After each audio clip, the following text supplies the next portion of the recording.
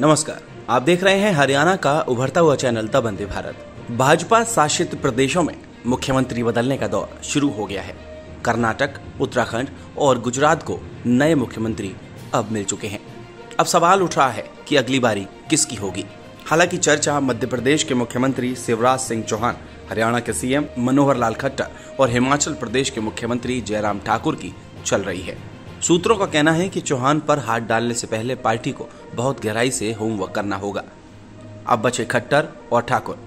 Party नेतृत्व के लिए हिमाचल के सीएम ठाकुर को बदलना कोई मुश्किल कार्य नहीं है। अगर खट्टर की बारी आती है तो हरियाणा में भाजपा के लिए उनका विकल्प तलाशना आसान नहीं होगा। दूसरा, केंद्रीय नेतृत्व को जिस तरह के मुख्यमंत्री पसंद है, उसमें खट्टर फिट बैठते हैं। तीसरी बात, हरियाणा में अब भी विधानसभा चुनाव दूर है। 2024 में चुनाव होने हैं। ऐसे में भाजपा का केंद्रीय नेतृत्व खट्टर पर भरोसा बनाए रख सकता है। आपको बता दें कि अगले साल जिन राज्यों में विधानसभा चुनाव होने हैं, उनमें उत्तर प्रदेश, उत्तराखंड, पंजाब, गोवा, हिमाचल प्रदेश, गुजरात और मणिपुर शामिल है। भाजपा इसी राजनीति पर अपने मुख्यमंत्रियों को बदल रही है।